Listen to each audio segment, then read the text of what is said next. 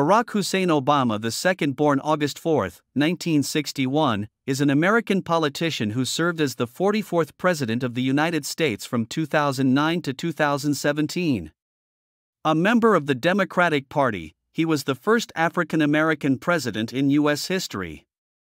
Obama previously served as a U.S. Senator representing Illinois from 2005 to 2008, as an Illinois State Senator from 1997 to 2004, and is a civil rights lawyer and university lecturer.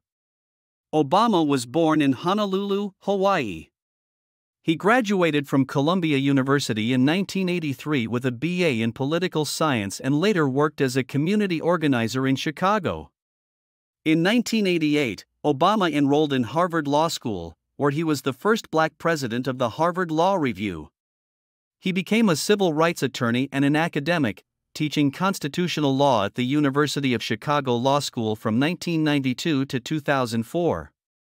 He also went into elective politics. Obama represented the 13th District in the Illinois Senate from 1997 until 2004, when he successfully ran for the U.S. Senate. In 2008, after a close primary campaign against Hillary Clinton, he was nominated by the Democratic Party for president and chose Joe Biden as his running mate. Obama was elected president, defeating Republican Party nominee John McCain in the presidential election and was inaugurated on January 20, 2009. Nine months later, he was named the 2009 Nobel Peace Prize laureate, a decision that drew a mixture of praise and criticism.